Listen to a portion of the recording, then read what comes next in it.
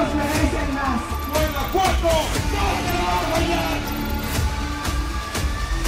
Expresa tu voto.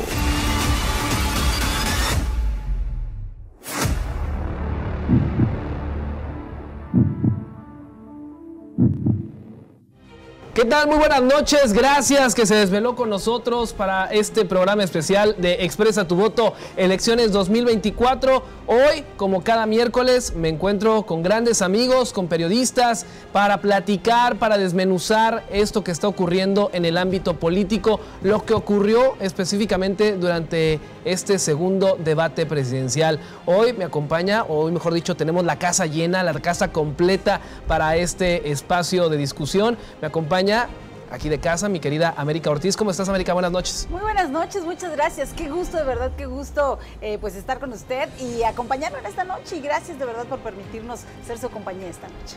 Así es, y también nos acompaña aquí en el estudio mi estimado Memo García de TVR. ¿Cómo estás, Memo? Buenas noches. Gracias, Víctor. Buenas noches y buenas noches a todos. Y a la distancia, por supuesto, también nos acompaña mi estimado Miguel Puertolas de Grupo Milenio. ¿Cómo estás, Miguel? Buenas noches. Buenas noches a todo el equipo, y saludos y qué bueno que podemos intercambiar ideas de nuevo. Así es, y también a la distancia, mi queridísimo Pepe Báez de Grupo Imagen. ¿Cómo estás, Pepe? Buenas noches. Buenas noches a todos, les mando un abrazo grande, un honor estar con ustedes y un placer saludar a todo nuestro público a través de Expresa TV. Así es, pues bienvenidos todos, bienvenido usted por supuesto que se desvela para platicar, para seguir desmenuzando. Lo platicamos eh, el día domingo con, con, mi estimado Memo, con Miguel, estuvo también acá eh, de visita este Mauricio Guzmán. Dábamos un pequeño preámbulo de lo que ocurrió en el segundo debate presidencial eh, con las candidatas y el candidato.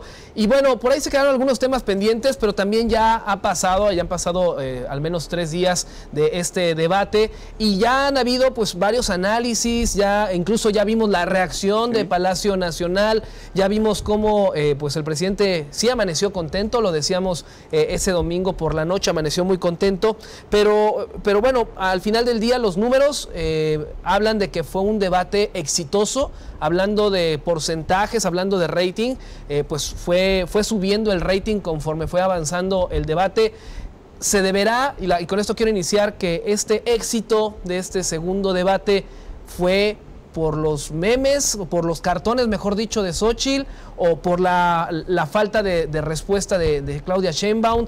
¿Qué fue lo que provocó que este segundo debate haya sido el más visto en lo que va de, esta, de este periodo electoral? Me gustaría iniciar con los que están a distancia. Mi estimado Miguel, ¿tú qué opinas? Pues mira, eh yo creo que la audiencia pudo haber incrementado principalmente porque de alguna manera eh, muchos eh, televidentes, porque no, no, olvidemos que al final un debate es un programa de televisión, ¿no? Entonces, eh, si la primera temporada pareció pues, relativamente buena, ¿no? Y pues la gente en, en, su momento no quiso perderse la segunda temporada y en este caso pues se incrementó un poco más la audiencia. pero no dejo de lado que pues no, no, yo no veo ninguna relevancia en el sentido de que al final creo yo que el principal atractivo, no digo, me refiero a que no veo relevancia en el tema de las propuestas presentadas, porque la verdad es que hubo poca propuesta, pero como lo comentábamos en algún momento, eh, pues hubo, eh, notamos una rispidez, ¿no? Marcada entre las candidatas punteras eh, y, bueno, pues un candidato de Movimiento Ciudadano que más bien, pues se mantenía esquivando los los golpes que se estaban dando entre las dos candidatas a la presidencia de México, de, la, de, las dos alianzas que están buscando precisamente llegar a Palacio Nacional. Entonces, yo creo que sí, de alguna manera, eh, el éxito, entre comillas, diría yo, en el tema de audiencia, pues tiene que ver porque sí despertó un interés, ¿no? En, cuando menos, si en la primera parte no lo vi, en la segunda, pues voy a ver, a ver qué tal, y creo que pues sí hubo un poquito de mayor confrontación entre las candidatas, lo cual llamó la atención. Eh, yo creo incluso que eh, para el tercer debate que, que vendrá, eh, seguramente incluso podríamos esperar todavía a una audiencia mayor, justo esperando lo que sucedió en este contexto en el primer, en el segundo ejercicio de este tipo. Fíjate que tengo que empezar diciendo que a mí me taparon la boca, yo había dicho en esta misma pantalla que no esperaba mucho del debate por la complejidad de los temas. Ustedes recordarán, hablábamos de que había temas que requerían mucho mayor tiempo creo que no fue así, creo que los tres candidatos hicieron lo que tenían que hacer. Desde mi punto de vista, vi una Xochitl más combativa, una Xochitl que, eh, bueno, ella lo dijo, ¿no? Yo ya no, no voy a estar haciéndole caso a los asesores, quiero ser yo, creo que le ayudó ser ella. Vi todo, todos los cuestionamientos de Xochitl perfectos hasta que comenzó nuevamente con esa guerra de apodos, todo eso que a mí en lo personal me hace algo muy deleznable en la política, porque la respuesta de Claudia Sheinbaum fue la misma. Sin embargo, en esta ocasión creo que lo interesante, coincido con Miguel, es ver que hubo una mayor confrontación. Creo, en este caso, yo no hablo de ganadores, porque pues eso lo determinará el público, pero creo que Xochitl sacó más raja de este pastel que del primero. Creo que Álvarez Maínez lo vimos un poquito pues ya en tema político, no el bufón que vimos en el primer debate con esa sonrisa fingida.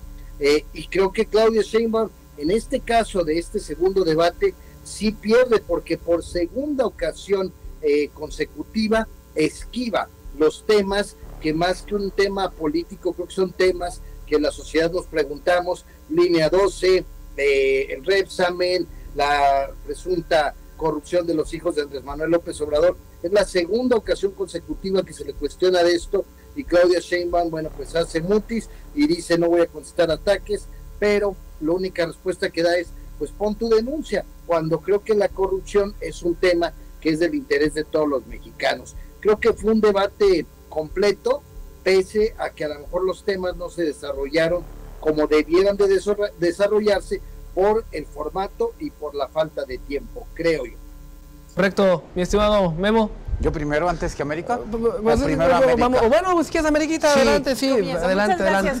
Pues sí, según los números, estamos hablando que de 16 millones de personas estuvieron ese día por la noche del domingo, eh, pues está eh, viendo precisamente este debate, según los datos que da a conocer precisamente eh, pues las autoridades en materia electoral. Y de este 16 millones de personas que se concentraron esa noche viendo este debate, estamos hablando de que cerca de 13.8 millones de personas estuvieron justamente eh, viendo el debate y son mayores de 18 años que sí podrán acudir a votar, insisto, según los datos que se daban a conocer ya eh, como resultado de este debate. Entonces son datos creo que nos parecen muy interesantes porque entonces se forma el debate más visto en la historia de debates, es justamente este que vimos el domingo pasado, es el debate que más se ha visto en la historia de los debates y en el contenido, bueno, yo coincido totalmente con usted Vimos un debate en el que este, ya no había estos distractores del reloj, vimos un debate mucho más eh, organizado, mucho más controlado en todo lo que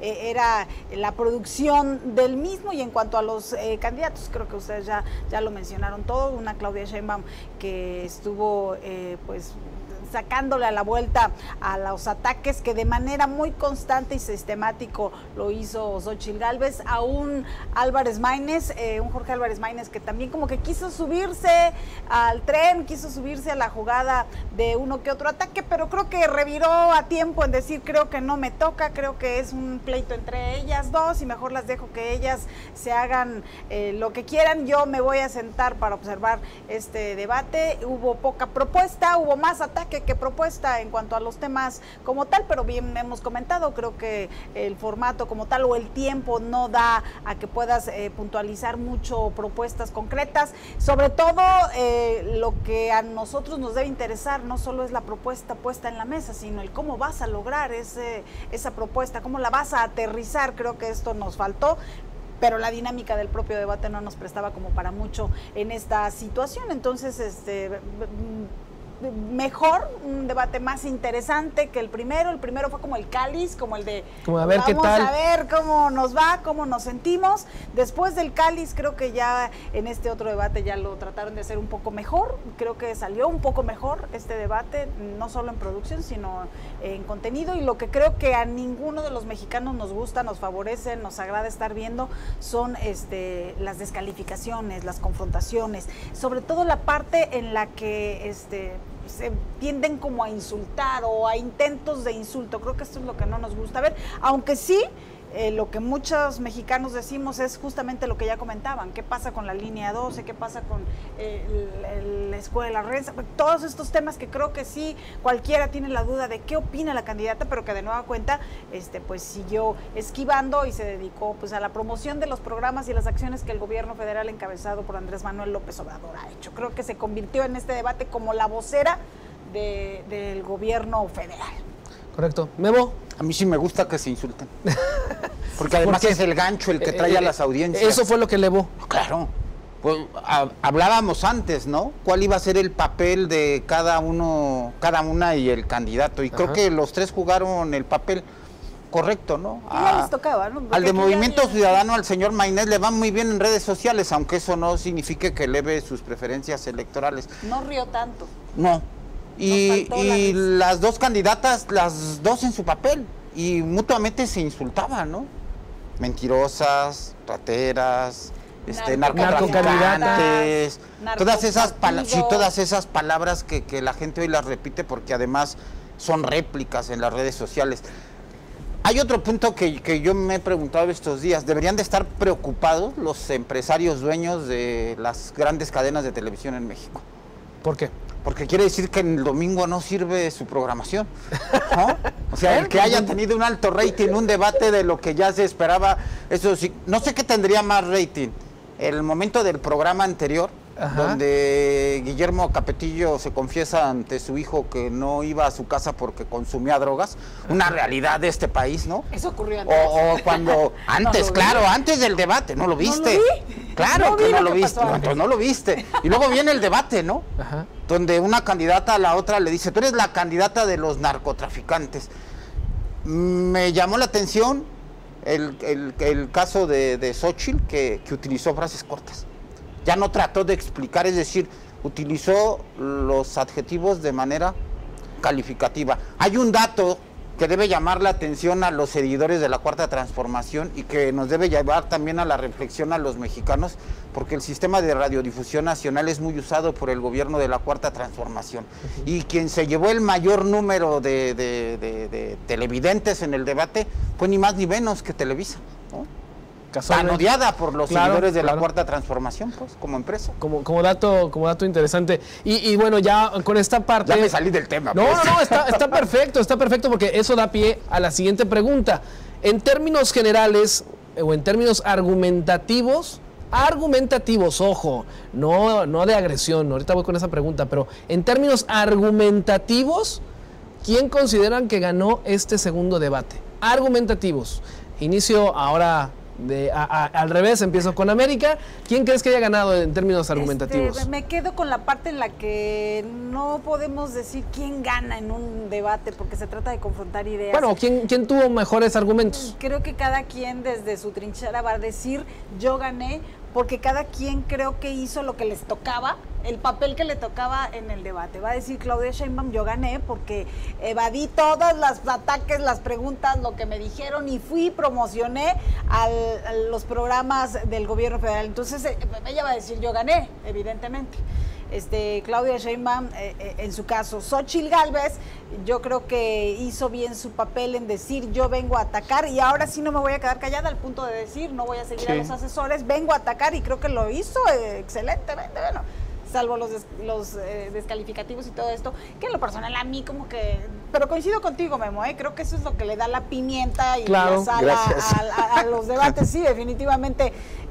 nos guste o no, creo que eso es lo que en muchas ocasiones le gusta escuchar a la gente, como cuando vemos la nota roja que no a todos nos gusta y es lo que la gente quiere ver, la sangre derramándose, pues lo mismo ocurre yo creo en esta situación, no a todos nos gusta, pero sí a lo mejor el, grueso de la población sí le gusta.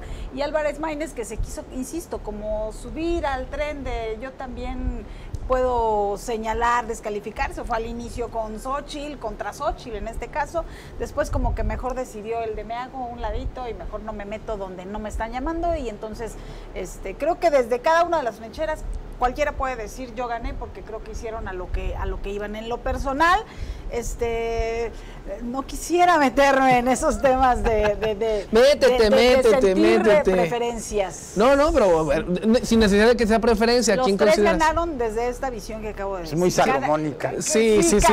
América no sé. ¿Quién hizo lo que iba a hacer? Pero, pero, pero, argumentos, ¿quién, te, ¿quién dices? Este sí dio mis argumentos. Pues sin necesidad de que tenga esa preferencia, América. Este, no lo sé.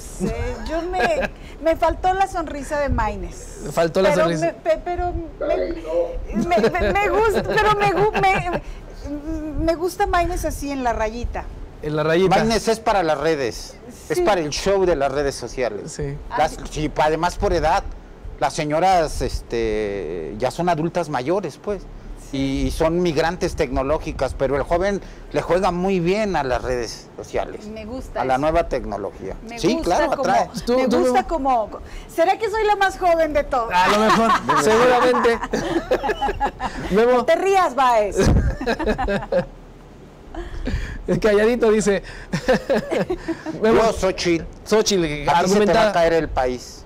Hay, hay una deuda de Sheinbaum, hay dos deudas. El Repsamen, queda muy claro, Carlos Simas, que por el tiempo las nuevas generaciones no entienden el papel que jugó su ex esposo. Es más, ese momento eh, es lo que tiene hoy a Claudia Sheinbaum como la candidata del señor presidente Andrés Manuel López Obrador. ¿no? O sea, tu esposo abriendo maletas de dinero, ¿verdad? Difundidas en un programa de un sujeto que se caracteriza como, como payaso en, en nuestra época fue un impacto. Pero hoy las nuevas generaciones no entienden eso. Pero Sheinbaum fue muy bien, ¿no? A ti se te va a caer el país porque porque queda claro, ¿no? Que la cuarta transformación este, encubrió a sus compadres y comadres en la caída de la línea 2 del metro, incluido el carnal Marcelo y este, etcétera, etcétera, ¿no? Correcto. Pepito, ¿tú qué opinas? ¿Quién tuvo los mejores argumentos? ¿Quién ganó en argumentación? Entendiendo tu pregunta, eh, Vic, eh, digo, primero, mi querida América, yo no coincido en lo más mínimo contigo, creo que eh, el volver a ver a Maynes con esa sonrisa falsa se convierte en un circo y en un show mediático, respeto tu opinión, pero si me hablas de argumentos, mi querido Víctor, creo que hubo dos que destacaron. En lo que sí coincido con Ame, ese no dar a conocer o, no opinar sobre un ganador, porque sería eh, ir en contra de lo que pienso. En un debate no hay un ganador, eso lo determina la población, no lo, no lo podemos determinar los comunicadores, porque caemos en el mismo ridículo que caen los políticos, de que faltando dos minutos para que acabe el debate, todos en sus redes sociales sacan la foto, incluso en esta ocasión creo que hasta una mano de Claudia Sheinbaum con seis dedos, que fue muy cuestionada en los memes, ganamos el debate. Si me hablas de argumentos, yo creo que hubo dos personas que con argumentos resaltaron. Maines, que en varias ocasiones, por lo menos en más de tres, eh, le decía a Claudia Sheinbaum, tiene usted razón, qué bien se están haciendo las cosas en Jalisco y en Nuevo León, de las propias declaraciones de Claudia Sheinbaum. Y lo reforzaba Maines con los resultados obtenidos eh, por Enrique Alfaro y por Samuel García en cuestiones de agua, en cuestiones de muchos, de movilidad, etcétera. Y una Xochitl que con argumentos de lo que hemos estado viviendo pues cuestionaba a Claudia Sheinbaum. Creo que ellos dos supieron sacar raja argumentativamente de su presencia en el debate. No así Claudia Sheinbaum, que no entendió que no era un informe de gobierno de Andrés Manuel López Obrador, ni una exposición de logros, ni de buenas intenciones. Creo que la señora se perdió al no comprender que era un debate, no era precisamente para ir a vanagloriar al señor López Obrador o para escuchar lo que escuchamos todos los días en las mañaneras. Creo que ahí se pierde, Claudia, argumentativamente, creo que no saca provecho del debate y al contrario, creo que se demuestra una vez más que eh, pues la línea de lo que ella tiene que decir viene de Palacio Nacional. Ya lo sabíamos, pero creo que queda más que confirmado. Así es que para mí, en cuestión argumentativa, de la misma forma parejos, tanto Maines como Xochitl Galvez, por los números por todo lo que de alguna manera les favoreció a ellos las propias respuestas que daba Claudia Sheinbaum. Eh, dependiendo a, qué nos estemos refiriendo, ¿no? Porque si se trata en tema de, de señalamientos hacia el candidato o candidata opositora, pues creo que la que iba más armada era Xochitl Galvez. la vimos ahí con una gran capacidad de no solamente responder a cuestionamientos de parte de la candidata Claudia Sheinbaum, pero traía más documentación, traía más temas para sacar en torno a los cuestionamientos hechos, como lo decía Pepe, desde Carlos Simas, ¿no? Este, haciendo referencia a los negocios que en su momento hizo en el gobierno de la capital, eh, siendo en, ese entonces pareja del actual candidato a la presidencia. Todos conocemos, digo, sobre todo aquí en Guanajuato, no estamos eh, muy enterados del tema también de Carlos Simas al haber incluso él sido este dueño ¿no? del equipo León en su momento, si, si mal no recuerdo. Entonces, eh, traía bastante carnita, ¿no? Xochitl Galvez. Eh, y creo que, y lo comenté en, en mi columna en, frecuencia que, escribo todos los lunes en, Milenio, que realmente aquí yo siento que, como dice el dicho, el que se enoja pierde, y las dos candidatas se enojaron, ¿no? vimos a una Xochitl Galvez muy insistente en estos temas de corrupción, en temas que, si bien es cierto, eh, no le competían a Morena, porque Morena pues tiene, tiene solamente un sexenio al frente del gobierno de la Ciudad de México, anteriormente eran, gobiernos perradistas, pero, perdón, con personajes que obviamente hoy están, hoy están en Morena, el propio Martí Batres, el propio Marcelo Ebrard y demás. Entonces, bueno, al ser estos personajes hoy de este partido político, creo que, insisto, Claudia, este, Xochitl Galo Estrella eh, pues la artillería pesada, ¿no? ella sí cargó sus cargadores, ¿no? Y, estuvo cuestionando. Tanta fue su insistencia y, vimos a una Claudia que de alguna manera, eh, como decimos aquí entre la raza, ¿no? Trató de aguantar vara un ratito, eh, solamente pues medio sonriendo y medio ignorando las, las preguntas de Xochitl y hasta que llegó el momento cúspide en donde pues hace este señalamiento durísimo, eh, que pues a todos nos dejó con el ojo cuadrado cuando eh, Claudia le dice a ella candidata corrupta y ella le contesta candidata del narco, ¿no? Entonces, este, ahí fue una cúspide, ¿no? Y en una acusación eh, que yo diría histórica, porque jamás en la vida, este, en, un debate, por, lo menos para la presidencia de México, se había pues relacionado a un aspirante a la presidencia con el crimen organizado. Esto me parece lo, destacable en el tema de, estos ataques que se dieron, que, subieron de tono a ese nivel. Eh, ustedes habrán de recordar, por ejemplo, que pues eh, en, el, caso de Vicente Fox, que hoy, por ejemplo, sería considerado como violencia eh, política, en algún momento al candidato La Bastida le dijo la vestida, ¿verdad? Y, hasta ahí llegaban las agresiones, pero ya llamar a un aspirante a la presidencia un narco candidato Creo que eso es lo que nos debería estar preocupando en este momento. Por un lado, porque, bueno, pues si la candidata Xochitl Galvez tiene pruebas, debería de presentarlas, ¿no? Y por otro lado, eh, pues eh, debería preocupar también a, Morena que se le esté relacionando continuamente, porque no es solamente en este caso, es en caso de candidatos a gobernadores, las propias investigaciones que se abrieron en su momento en los Estados Unidos eh, respecto a la administración del presidente Andrés Manuel López Obrador. Entonces, volviendo al fondo de, la pregunta que nos comentaba sin argumentos, yo creo que los únicos argumentos que yo escuché fueron argumentos en medio de acusaciones de actos de corrupción y de posibles relaciones con el crimen organizado. Fuera de ahí, argumentos en tema de propuestas, la verdad, insisto, muy pobres. Eh, antes de ir al, comentario de Memo y de América, vamos a hacer una pequeña pausa en esta noche de Expresa tu voto elecciones 2024. No le cambie, seguimos analizando el segundo debate presidencial y también al regresar hablaremos sobre el llamado Plan C de, que viene desde Palacio Nacional. Así que no le cambie, sígase desvelando con nosotros. Regresamos con más.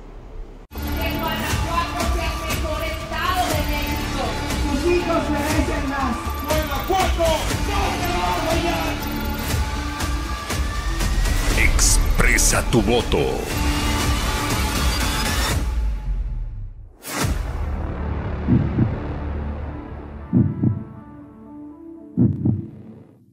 Gracias por continuar con nosotros aquí en Expresa tu voto elecciones 2024. Continuamos con esta mesa de análisis. Me había quedado antes de la pausa de escuchar el comentario de América y de Memo sobre esta estrategia que adoptó Xochitl para este segundo debate con frases cortas, con cuestionamientos, con cuestionamientos directos, algo similar de lo que hizo Andrés Manuel López Obrador hace seis años en los debates. Y yo les preguntaba, bueno, que si esto iba a tener algún revés o iba, de qué manera le iba a funcionar a Xochitl Galvez. Así que, pues vamos a, escuchar primero a las damas, mi estimada América. Muchísimas gracias. Este, yo creo que esta estrategia es muy buena y no solo se puede aplicar en temas que tienen que ver con procesos electorales, creo que es una estrategia este, que muchas, en muchas circunstancias es positiva y se debe de manejar. Yo creo que es una buena estrategia. Este, no sé si le vaya a alcanzar como para dar un revés en los resultados, si le vaya a alcanzar como para este, ser ella la, la ganadora de una contienda electoral quizás no va a alcanzarle para tanto, pero me parece una buena estrategia. Mis compañeros hablaban del tema de los eh, votos que aún no se han decidido hacia qué partido político se va a ir y que entonces quizás una estrategia como esta podría abonarle eh, a la candidata. Yo creo que no le alcanza mucho y sí es muy alarmante el número, los datos que dabas. Eh, eh, porque el tema, el tema de cuántos votos son los que andan volando, que no se han decidido, creo que son muchos, creo que podría definir en este caso toda una elección y no solo a favor de Xochitl, incluso los números podrían alcanzarle hasta Maines en ese, en ese contexto. Eh, son muchos los votos que se están jugando, sí es alarmante y yo espero que ahorita abordemos el tema de los narco candidatos y narcopartidos, porque a mí me parece, ese tema particularmente sí me parece muy preocupante, muy, muy preocupante. Coincido eh, con mi compañero, creo que es, con Miguel, creo que es eh, un, tema que debería de tenernos preocupados y que deberíamos de estar ocupándonos en que se pusieran las denuncias correspondientes porque las acusaciones son muy, muy fuertes y, y quien acusa tiene que demostrar y comprobar eh, los señalamientos que está haciendo y ya tendría que estarse haciendo porque aventar ese tipo de, detalles al aire y, así tan, tan fuertes no se vale, no, no tendría que ser solo así, sino llegar a una, a una denuncia formal y oficial. Correcto. Memo hemos hablado mucho de las encuestas y en este momento el tema de las encuestas es un tema como estrategia de propaganda electoral en realidad. Pero lo hemos dicho, las encuestas dicen que pues hace quien las paga, hay una hay un alto porcentaje que no que no ha dicho en las encuestas por quién eh, quién es su preferencia. Pero voy a esta parte, yo creo que cada equipo de los tres candidatos tienen encuestas donde ellos saben por dónde van. Y quizá hoy vemos después del segundo debate hacia dónde va Claudia Sheinbaum. Y creo que hay una preocupación, por lo menos en, en la parte discursiva de la campaña, que tiene que ver con lograr la mayoría en la Cámara de Senadores y en la de Diputados para poder lograr las reformas constitucionales que no lograron en el actual sexenio. Es decir, ¿cómo lo llaman ellos? El segundo piso. Y, y, creo que ahí sí queda claro que a lo mejor los números de las encuestas no les dan. Las encuestas no definen, pero desde hace varios procesos electorales, las encuestas son una herramienta de la propaganda de cada, de cada coalición, en este caso, ¿no? Partido político. Yo soy de los principales eh, opositores a la difusión de encuestas porque, insisto, o sea, mal informan. Ojo, no quiere decir que el trabajo de algunas casas encuestadoras no sea bueno. Eh, yo, o sea, tampoco se vale demeritar el trabajo de las casas encuestadoras, que es un trabajo interesante de análisis estadístico, pero eh, vuelvo al tema, eh, los datos que estoy proporcionando son directamente de la lista nominal que eh, cuenta o que tiene el Registro Nacional de Electores, que depende del Instituto Nacional Electoral. Entonces, no, no perdamos de vista este tema que tiene que ver con números reales, no, no preferencias electorales ni nada por el estilo.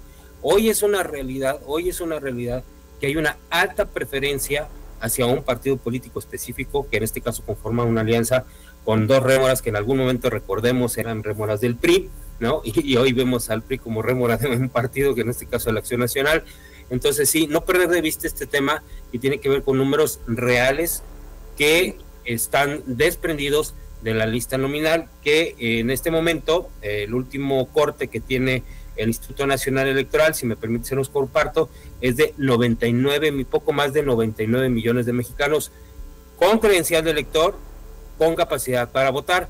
Estamos hablando en este caso de la lista nominal. El padrón es la cantidad de gente que está registrada ante el Instituto Nacional Electoral y que no necesariamente van a poder votar el día de la elección. En, ese, en este caso el padrón es poco más de 101 millones de mexicanos, pero los que van a estar en posibilidad de votar son exactamente poco más de 99 millones y los números que he manejado tienen que ver con esta lista nominal. Correcto. Totalmente contigo, Miguel, creo que lo has dejado muy claro, porque estos datos de repente no se dan a conocer y son los datos que finalmente pueden darnos una idea de lo que pudiera estar ocurriendo. Eh, yo me, refiero a las encuestas que se publican, reitero lo que dije y coincido al mil por ciento contigo, no puedo echar todas las encuestadoras en el mismo saco, hay unas que son sumamente serias, sumamente profesionales y sería injusto hablar en general, pero también es cierto que hoy hasta por Facebook te mandan encuestas pagadas por los propios candidatos o por su gente, donde hay gente que, bueno, muy respetable, cae en este garbito de votar, de like, eh, o darle un me encanta, o darle un me gusta, o darle un me enoja, y, de ahí surgen muchas encuestas que finalmente, retomo la frase de Memo hace algunas semanas, los likes, los me encanta, los me enoja, no votan, ¿eh? Por eso creo que ha caído tanto todo eso. Y, si me permiten nada más un, dato adicional, les comparto rápidamente los, los datos al 27 de marzo de 2024, el último corte el padrón electoral, de acuerdo al Instituto Nacional Electoral, es de 100 millones 33 mil 50 eh, mexicanos dentro del padrón electoral. En la lista nominal, que son los, eh, las personas que pueden ir a votar, que, tienen su credencial de elector y tienen posibilidad de votar, son 99 millones 84 mil 188 mexicanos. Ahora, el tema también aquí bien interesante es que el grueso de las personas que van a las urnas está arriba de los 45 años, entre 40 y 45 años para arriba son la gente que especialmente va a votar. Y en ese rango de edad, por ejemplo, de 45 a 49 años, estamos hablando que hay 9 millones, números cerrados, de hombres contra 8 millones de mujeres. Y si nos vamos a la lista nominal, rapidito les comento, digo, es bien importante tener estas cifras en la cabeza porque nos da una idea de, la, de cómo viene el 2 de junio.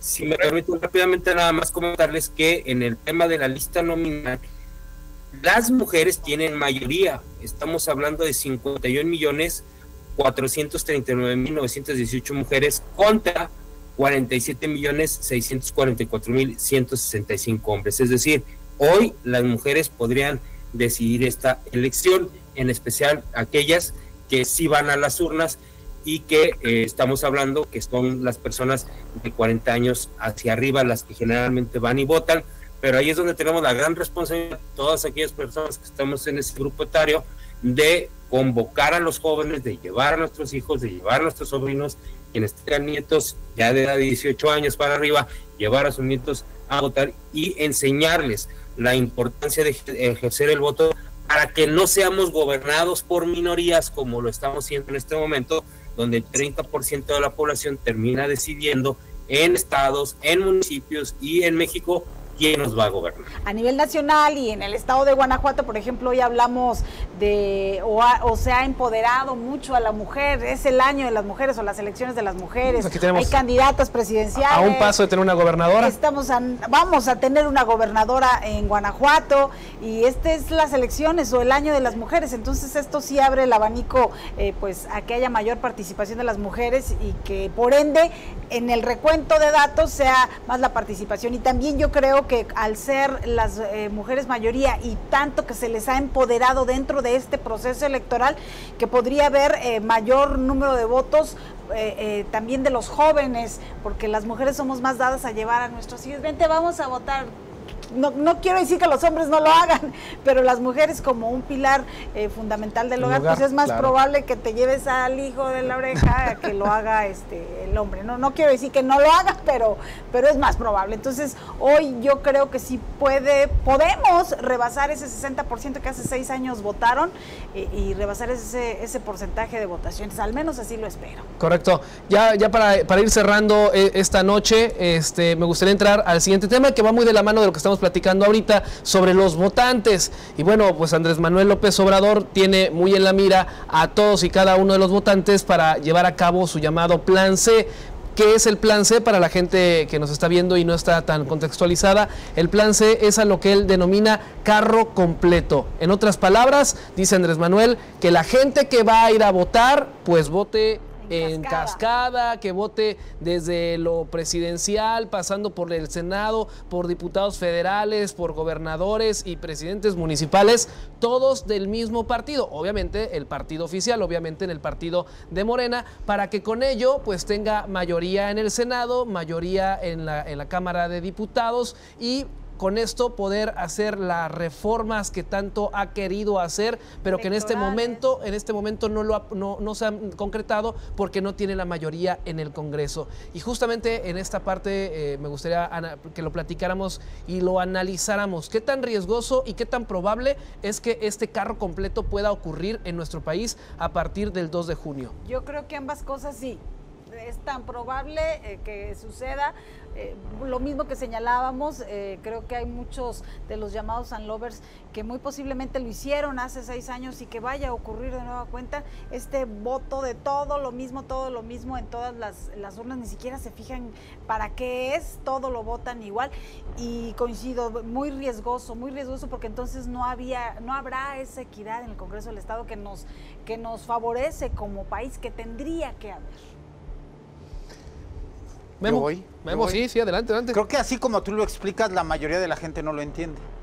Y por eso Morena usa como estrategia. Vota por todos los candidatos y por todos los partidos que hacen la coalición, la de Juntos Seguiremos Haciendo Historia, para que tus apoyos y programas sociales te sigan llegando. Creo que esa es la real estrategia. Explicarlo así como tú lo planteaste en un inicio, a, la gente le cuesta trabajo. entenderlo. Yo no sé si es hacia adelante o hacia atrás a estas alturas de, cómo está el país. Creo que no aprendimos muchas cosas en, en 30 años, los que son de mi edad y un poco más grandes, lo que, lo, que nos tocó, este, eh, esto que nos vendieron como el viaje de México hacia la democracia moderna. Lo que sí me queda claro es que hay una estrategia en el propio grupo del presidente Andrés Manuel López Obrador a regresar a la centralización de las decisiones a partir de la figura del presidente de la República, teniendo cámaras como lo tuvo el PRI en su época, con mayoría que les facilitaba todas las reformas constitucionales que hicieron históricamente. Durante el neoliberalismo eso sí nos ha quedado muy claro, ¿no? Estas reformas constitucionales se tardaron, muchas de ellas llegaron hasta el sexenio pasado del expresidente Enrique Peña Nieto y sí, se, tenían que sentar a negociar los diferentes grupos políticos. Queda claro que para Morena, y nos queda claro en estos cinco años y medio al frente del presidente Andrés Manuel López Obrador, que ellos no negocian con la oposición, ellos imponen. Eso nos queda claro. y creo que eso se juega en esta elección y cada ciudadano tendrá que decidir por qué país quiere y en qué país quiere vivir él y dónde quieren que vivan sus hijos y sus seres queridos. Eso a mí me queda claro y nos queda exactamente un mes, creo. Correcto. Por allá, eh, Pepito. Pues mira, yo creo que sí hay un riesgo definitivamente. Creo que hemos avanzado. Es que es lo que te digo, de repente la clase política escucha, eh, decide en base a lo que oye en un círculo rojo o en base a lo que escucha de un asesor. Creo que si hay un sector bendecido de poder estar eh, en contacto con todos los estatus sociales, con toda la gente, es el de nosotros como comunicadores, por lo menos tenemos la fortuna de repente estar en contacto con mucha gente, y hay mucha gente que, que te dice, mi voto será diferenciado, ¿eh? Porque a lo mejor para gobernadora me gusta fulana, pero para presidenta me gusta pero sabes que de alcalde me gusta tal o tal o tal.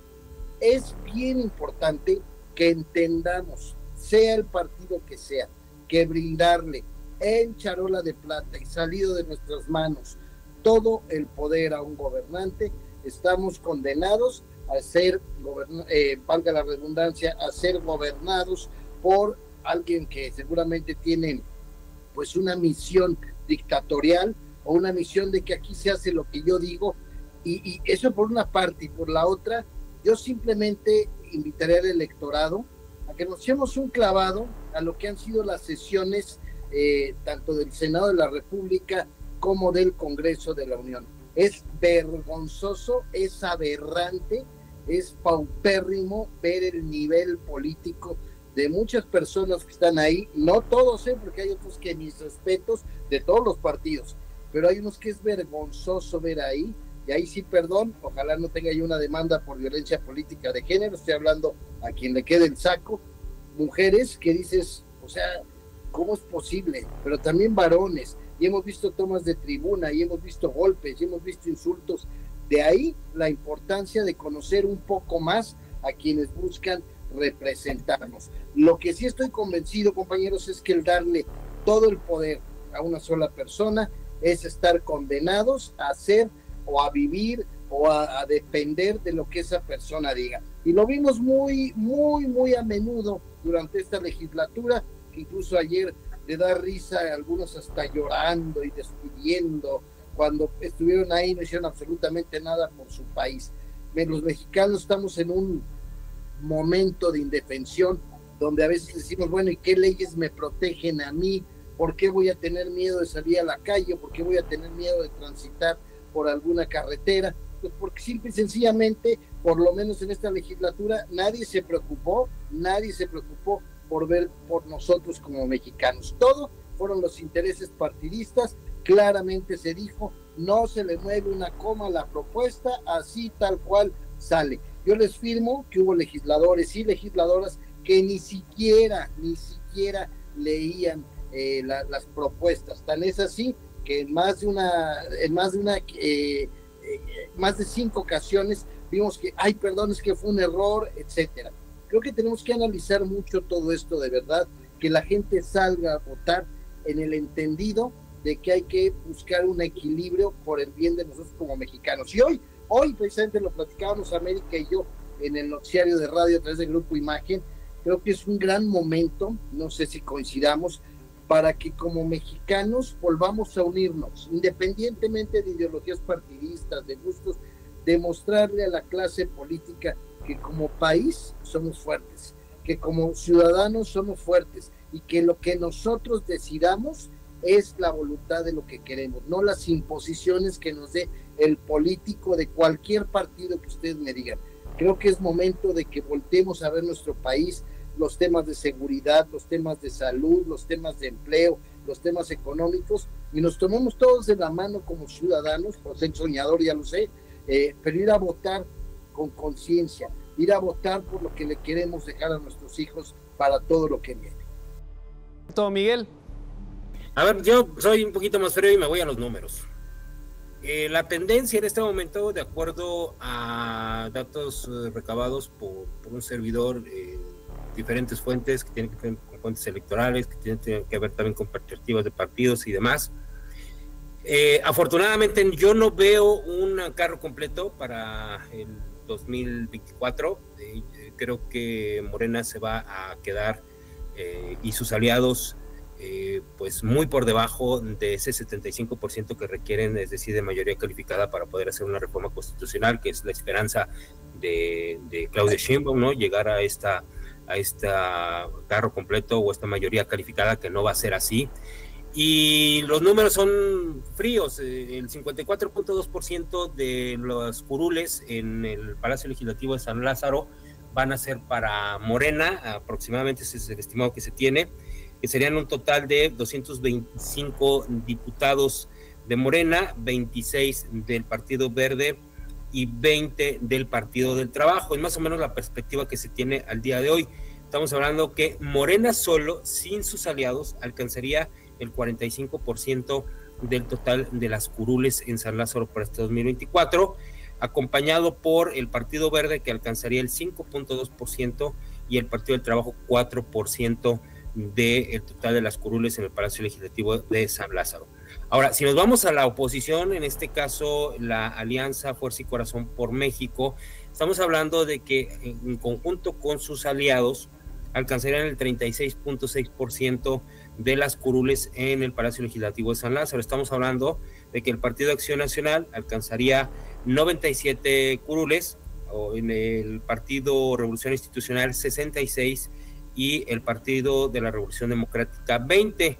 Estamos hablando que tendrían solo el PAN 19%, el PRI solo en una sola bancada, si decidieran separarse, tendrían el 13.2% y el PRD tendría el 4% del total de las curules de San Lázaro. Y en el caso de MC, estamos hablando que apenas alcanza el 9.2%.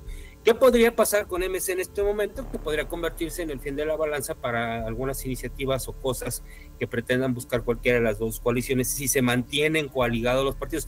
las bancadas van a ser de cada partido, pero ya deciden en el Palacio Legislativo de San Lázaro si, se si, si toman acuerdos en común al haber llegado a estas posiciones eh, a raíz de una alianza, pero no se reconocen alianzas, se reconocen solamente bancadas por partido político. ¿Qué podría pasar con el movimiento ciudadano? Bueno, pues a lo mejor que toda su bancada se inclinara hacia apoyar alguna iniciativa de Morena, pero aún así estamos hablando de que la, la, bancada de, Juntos Sigamos Haciendo Historia, si se coaligan en decisiones en el Congreso Federal, el, el eh, Morena, el PT y el Verde, junto con MC, apenas alcanzarían el 63% de aproximadamente 63-64% del total, necesitan un 75% para hacer alguna reforma constitucional.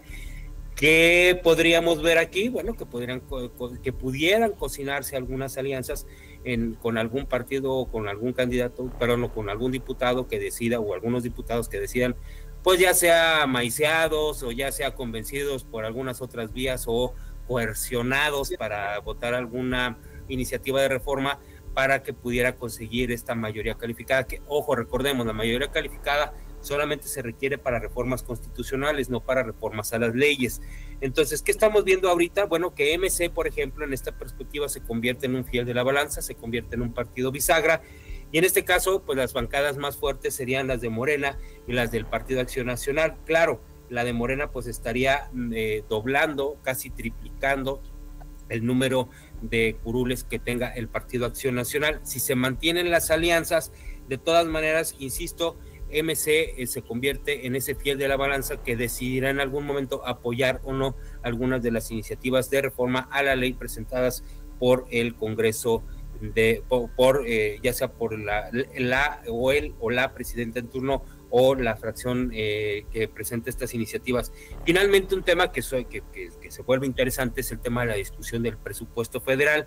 Ahí necesita mayoría simple y pues vamos a seguir viendo una discusión anodina de los eh, presupuestos enviados por el Ejecutivo a la Cámara de Diputados porque al final pues tienen la mayoría simple como para decidir en qué se gasta y en qué no se gasta eh, este, el, dinero de los mexicanos y obviamente también tendremos un Congreso eh, que para reformas a leyes eh, simples pues se convertirá de nuevo en una ventanilla de trámite para, la, el, para el presidente en turno en caso de que sea la candidata de Morena la que llegue a la presidencia de México. Entonces, vuelvo, comento y resumidas cuentas, no habrá carro completo para Morena, eso, eso queda clarísimo, sobre todo porque hay muchas regiones, sobre todo el Bajío, que va a pesar mucho en ese tema, porque hay una perspectiva mucho más elevada, perdón, tanto en los votos para candidatos a, para eh, elección directa, plurinominal y por circunscripción, que lleguen al Congreso eh, Federal. Entonces el Bajío también en este caso se convierte en un fin de la balanza que impide que Morena alcance esta mayoría calificada en el Congreso. Donde veo otro riesgo, si en algún momento pudiera ser eh, en el tema del Poder Judicial, siempre y cuando obviamente hay algunas modificaciones en el tema del Poder Judicial. Pero hoy por hoy creo yo que, bendito Dios, vamos a tener un Congreso no de mayoría calificada, sí con una oposición que se mantiene más o menos como hasta este momento, un poder judicial que va a seguir atajando seguramente algunas de las disposiciones que se manden al poder legislativo y casi, casi puedo augurar que se va a repetir la película que estamos viendo en estos momentos en cuanto al manejo entre, entre los tres poderes, el poder judicial, el poder ejecutivo y el poder legislativo.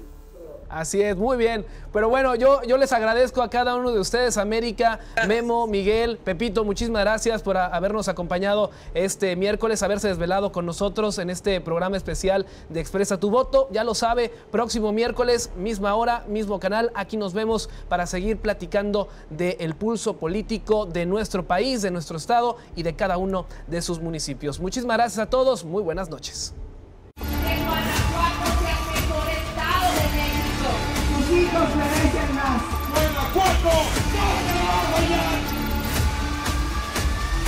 Expresa tu voto.